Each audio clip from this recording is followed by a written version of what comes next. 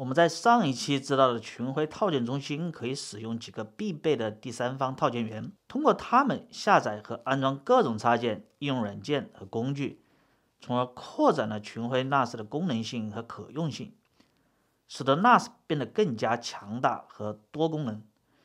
这一期就来看看作为初级用户的你，可以从第三方源中找到哪些基本上是必备的套件。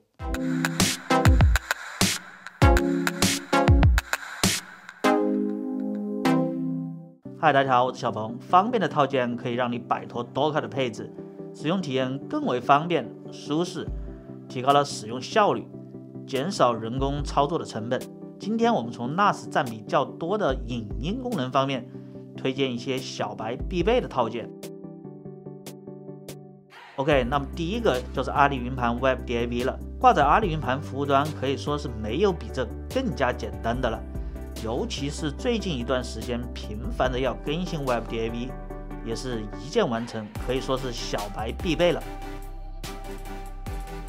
第二个 A List，如果除了阿里云盘，你还有其他云盘服务需要挂载的话呢，那么 A List 无疑是目前支持云盘服务最全的了。它几乎覆盖了你日常能够接触到的所有云盘，设置也非常简单。官方提供了文档，跟着做就好了。实在不会，网上还有大把的教程。第三个，Cloud Drive，其实论网盘挂载的稳定性，Cloud Drive 是优于 A List。另外，Cloud Drive 还可以把阿里云盘或者一些公益的 A List 的服务挂载到群晖的本地，比如这个，它现在几乎是人手必备了。第四个，Nas Two，。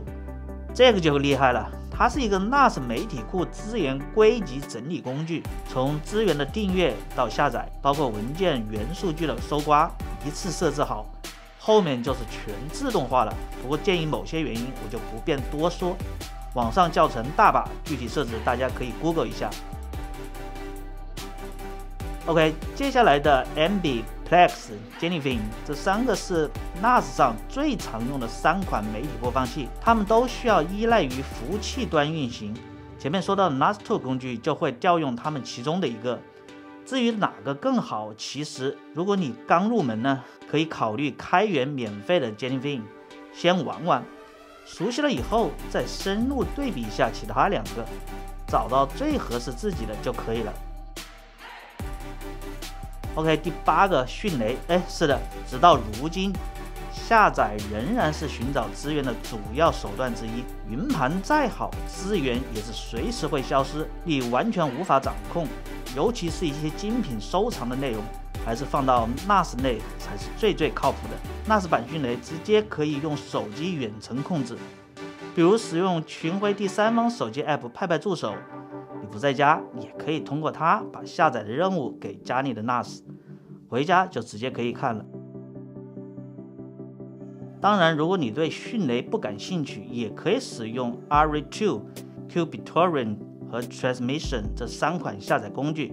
ARRI2 支持的协议比较全，支持 HTTP 下载和 BT，还可以将迅雷协议的下载地址转换成 ARRI2 使用地址。